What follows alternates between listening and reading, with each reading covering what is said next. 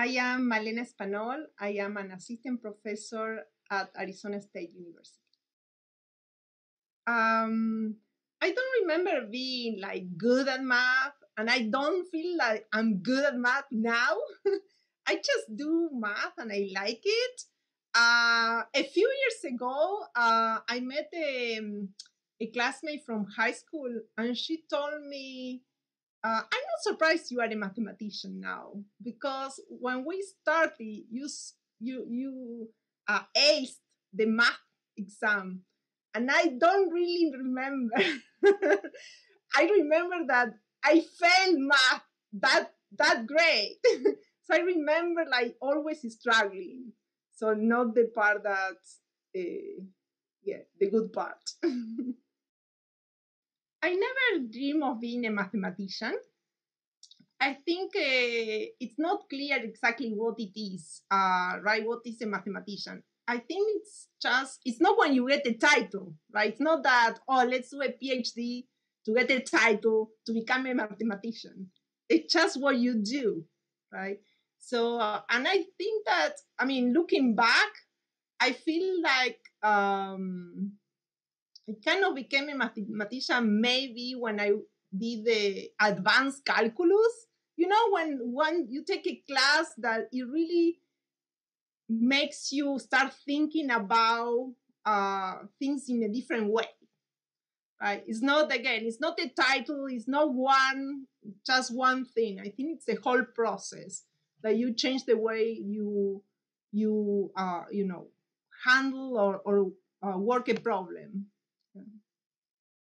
So I am an applied mathematician and a computational mathematician. So the difference is that as an applied mathematician, I try to create models that describe real things. So, for example, I work in uh, modeling uh, materials, in particular 2D materials. So it's the, you know, trying to have the mathematical model that describes the interaction between atoms. And from there, getting a continuum model, some other mathematical model that describes exactly the same. So we can understand materials and maybe create new, new materials. Um, so that's one of my areas. And then I also work in computational math, creating algorithms um, for image processing. Um, in particular, I uh, work in like X-rays, right? So if you go get an X-ray, you have some uh, X-rays going through you, and then you get this image. So how is that happening? Uh, there is a mathematical models that describe the physics. And then when we want to solve it, we use the computer. So how can we solve the problems in the computers fast? Uh, that's one of my main goals uh, in my research. So I have uh, several struggles. Who didn't have struggles? um, so I have economical struggles. Um, so when that was when I was in college, uh, you know, some days I wasn't sure I would have, you know, the money to go to the university. So, and as you know, many of the scholarships are for good students only, right? But you can imagine if you are like struggling getting to the university, it's hard to have your mind really focusing on doing math, right?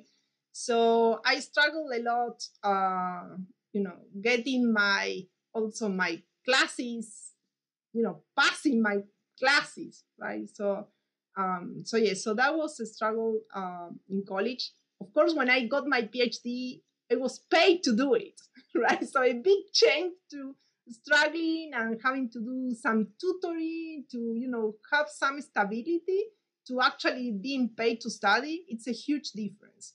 So you know, so I this merit thing. It's like for me, it's clear. Like sometimes you need to uh, help other students, not just the best students. You can find great students, not just in the group of good students. Um, so the other struggle is English. when I came to the States, my English was terrible.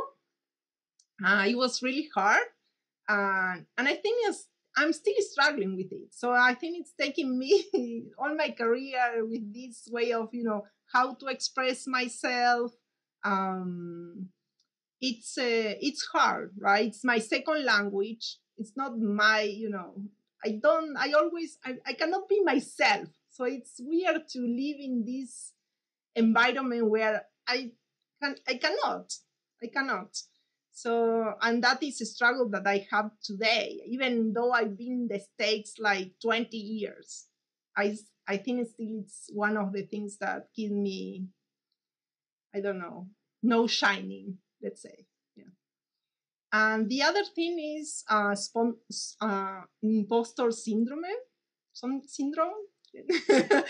um, uh, I think I've been always working with people who are amazing mathematicians.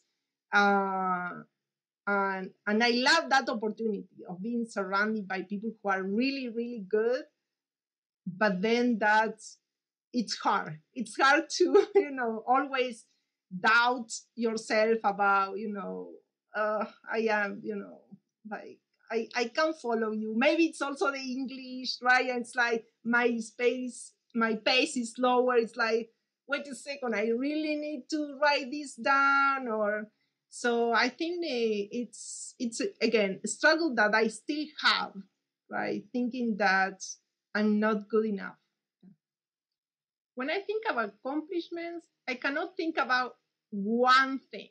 I think it's the whole process of who I am now, right? In terms of the skills that I have, that I'm able to collaborate with others, to you know others means mathematicians but engineers doctors um, i think i learned how to communicate well the math that i do uh, i think i'm a good mentor so again it's like who i am i don't know if you know it's like just one thing or getting my phd or getting one paper i mean yes those are great things but if I am proud of something, is who I am.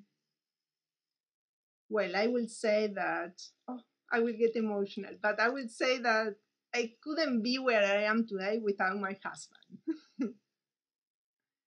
um, you know, next to me, following me, uh, where I am, um, where I go, and and you know all day mathematicians we work all day.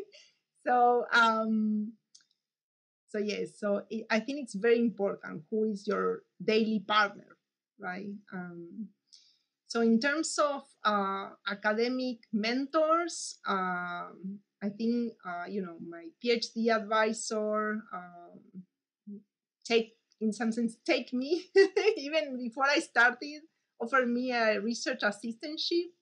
So uh, you know it's kind of a bet, right? That sometimes you do. So uh, I'm kind of grateful um, for that opportunity. And then my uh, postdoc supervisor uh, also. I learned so much.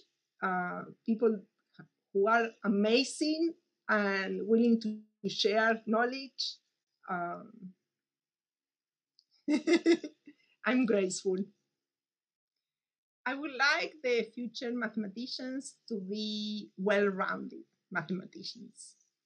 Uh, people who uh, work and do math with others.